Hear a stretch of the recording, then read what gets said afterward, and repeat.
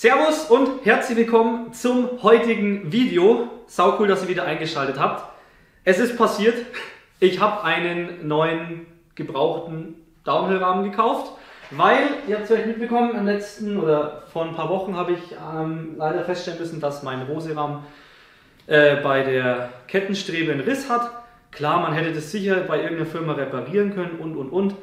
Aber ich habe in dem Video eben auch erklärt, dass es tatsächlich eigentlich keinen Sinn macht, dieses Bike als Downhiller wieder aufzufahren, aufzubauen, weil es kaum nutzen würde. Deshalb hat der Lodder sich wegen umgeschaut und hat was richtig Schönes, Gebrauchtes gekauft und das möchte ich euch jetzt natürlich zeigen.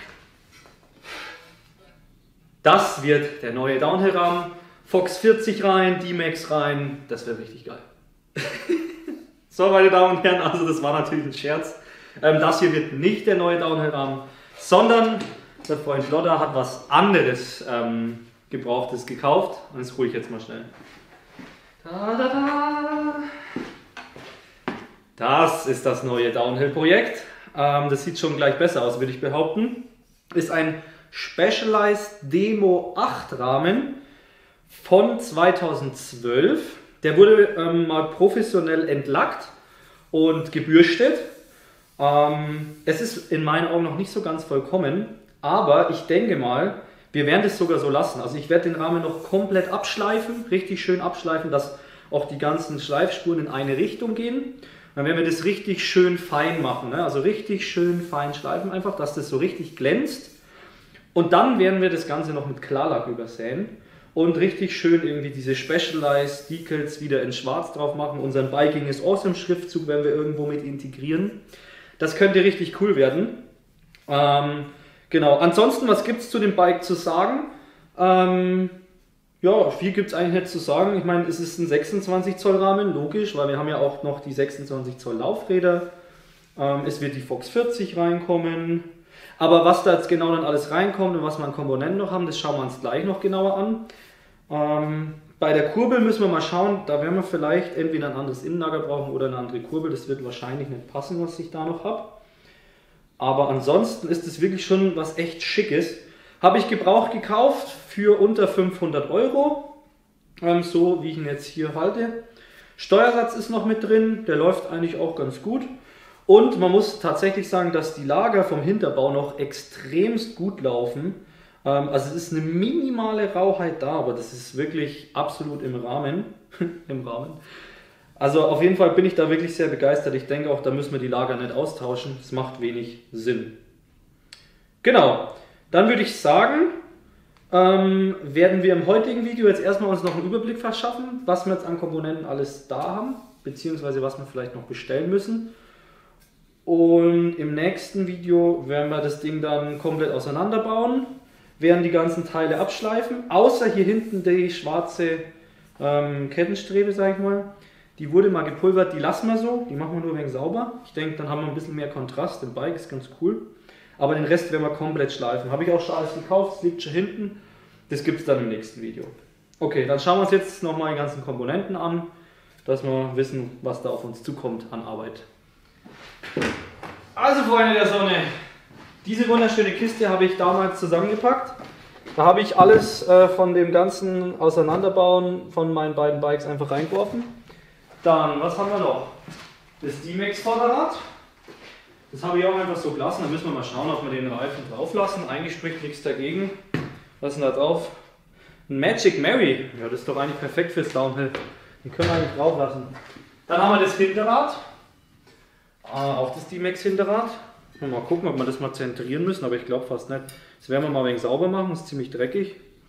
Aber ansonsten ja, und hier müssen wir einen neuen Verschlussring drauf machen, der ist kaputt, sehe ich gerade. Machen wir gleich mal hier runter, dass wir das dann nicht vergessen.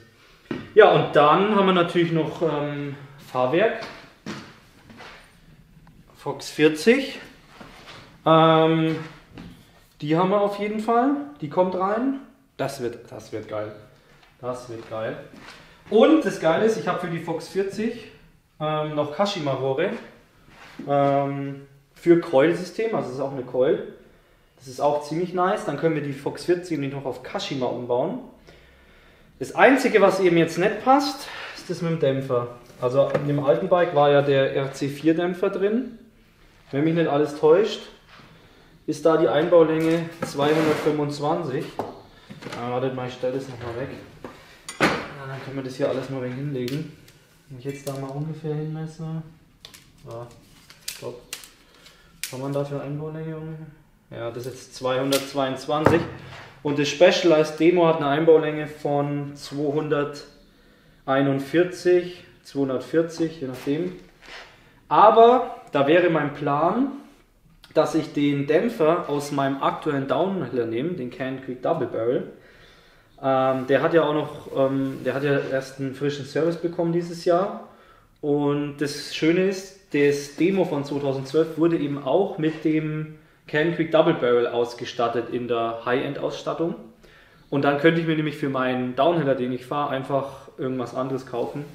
Ich hätte nämlich voll Bock, mal den Ölenzdämpfer auszuprobieren. Oder einfach einen DHX2 rein. Da schauen wir dann mal für nächstes Jahr. Aber auf jeden Fall bauen wir hier den Double Barrel Dämpfer rein, weil das passt einfach perfekt zu dem Bike. Genau, und dann halt Federgabel haben wir alles. Laufräder wissen wir. Am Hinterrad brauchen wir halt auch noch einen Reifen, aber da machen wir auch einfach den Magic Mary drauf. Den müsste ich auch noch haben. Ja, der liegt da oben.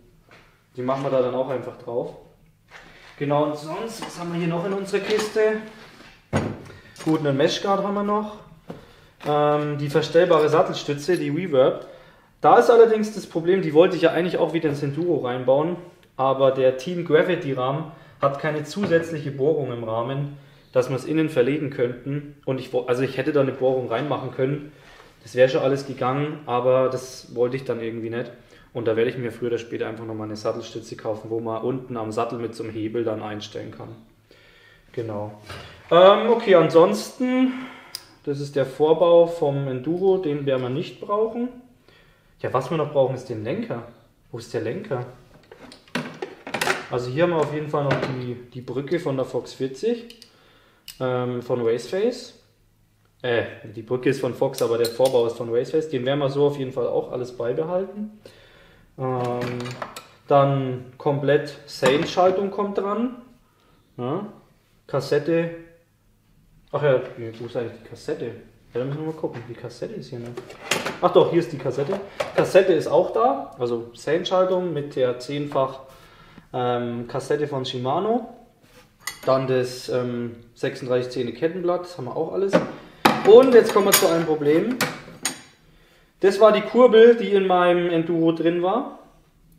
Ähm, und das war halt ähm, kein Downhill-Breitenstandard, also 83 mm, sondern 72. Das heißt, die ist hier zu schmal. Also wenn ich die jetzt hier hinhalte, ich mach's jetzt mal, dann ist die hier zu kurz. Ne? Also die Kurbel können wir leider nicht verwenden.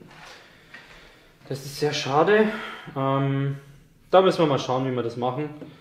Entweder bestelle ich irgendeine gebrauchte. Da muss man halt mal schauen. Irgendwas finde ich da schon.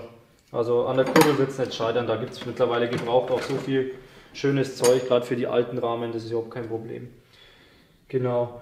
Ähm, dann könnten wir auch einfach irgendeine Raceface-Kurbel reinbauen, weil dann können wir das Innenlager alles drin lassen. Ja, das machen wir. Dann lassen wir das Innenlager auch alles drin und dann kaufen wir einfach eine Raceface-Kurbel, die dann schon auch den passenden Achsendurchmesser hat. Und dann können wir ja die vielleicht auch Sandstrahlen neu lackieren oder wir finden schon eine, die cool aussieht, da schauen wir einfach mal. Genau, dann haben wir ja jetzt lustigerweise zweimal ähm, X0 Bremsen. Das ist für die Reverb. Weil ich hatte ja auf dem Downhiller war ja eine X0 drauf und auf meinem Enduro. Also wir haben hier zwei. Wobei ich sagen muss, die vom Downhiller, die war eine Katastrophe. Die ging gar nicht mehr gut. Ähm, deshalb werden wir da die von meinem Enduro nehmen. Also kommt auf jeden Fall eine schöne X0 Bremse dran. Und das Einzige, was ich mir überlegt habe, was wir wahrscheinlich machen werden, wir werden vernünftige Galfa-Bremsbeläge drauf machen und auch Galfa-Bremsscheiben, weil diese Abi-Bremsscheiben sind schon wirklich sehr alt und die sind wirklich nicht so das Gelbe vom Ei. Und ich denke mal, dass wir die X0-Bremse mit vernünftigen Scheiben und Belägen und wenn wir sie neu entlüften und mal richtig schön sauber machen, dass die wirklich trotzdem gut Bremspower hat. Aber das werden wir dann letztlich äh, sehen. Im allerschlimmsten Notfall kaufe ich da einfach auch noch irgendeine gebrauchte andere Bremse. Vielleicht eine C oder eine Sane, da schauen wir mal, wie sich so ergibt. Aber wir haben auf jeden Fall erstmal was da, was wir benutzen können. Und das Schöne ist an dem Rahmen auch, dass alle Leitungen außen verlegt sind. Das heißt, wir müssen nichts durch den Rahmen legen. Wir können das einfach hier außen schön befestigen. Das heißt, es ist auch schnell getauscht, wenn es uns dann doch nicht taugt. Genau. Äh, ja, und ansonsten, der Rest sind dann alles Kleinigkeiten. Das werden wir dann Stück für Stück einfach entscheiden, was wir da ranbauen. Aber bisher muss ich sagen, könnte das echt cool werden. Ähm, deshalb würde ich jetzt vorschlagen, folgender Plan, Leute. Also, ich habe ja schon angekündigt, wir lassen den Rahmen komplett raw, außer dieses Teil hier oben lassen wir schwarz und hier die Kettenstrebe, die lassen wir auch schwarz. Wir bauen den Rahmen komplett auseinander, tun alles richtig schön abschleifen ähm, und dann richtig schön mit Klarlack nochmal drüber, ähm, dass das einfach auch schön glänzt und geschützt ist. Und dann bauen wir alles wieder zusammen und dann tun wir nach und nach alle Komponenten ranbauen. Und dann würde ich auch sagen, tun wir relativ zeitnah die Fox 40 umbauen, dass wir die auf Kashima umbauen und mal einen komplett neuen Service machen, dass wir die Dichtung rausmachen, Ölwechsel machen, Kartusche sauber machen, neues Öl rein, dass die Gabel wieder funktioniert. Und dann können wir auch den Dämpfer gleich einbauen. Ja, also ich denke, das wird ziemlich cool. Das sind so die Pläne jetzt. Ihr seid auf jeden Fall dabei. Und wie gesagt, das nächste Video wird dann sein, Rahmen auseinanderbauen, alles abschleifen, Klarlack drauf und wieder zusammenbauen. Ich wünsche euch jetzt schon mal viel Spaß. Ähm, ja, danke fürs Zuschauen und ja, alles Gute noch. Viel Spaß mit anderen Videos. Servus.